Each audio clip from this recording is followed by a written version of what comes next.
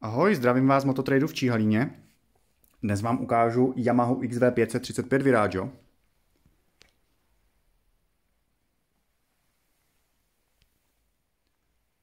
První registrace motorky v roce 1997. A tahle sympatická motorka má výkon 34 kW.